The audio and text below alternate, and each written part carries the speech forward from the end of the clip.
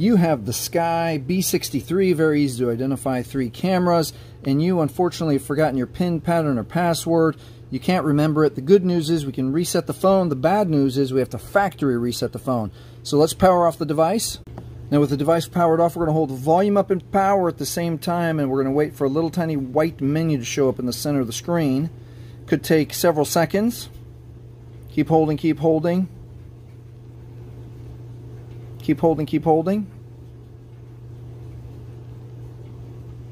Right there. Choose recovery mode with volume up and then OK with volume down. And now we're going to wait for the fallen Android no recover no command. So we're going to hold down power, quick touch volume up.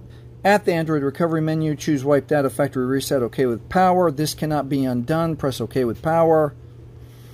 Confirm that the data wipe is complete. Now it's safe to reboot the system, and that is how you factory reset your Sky B63.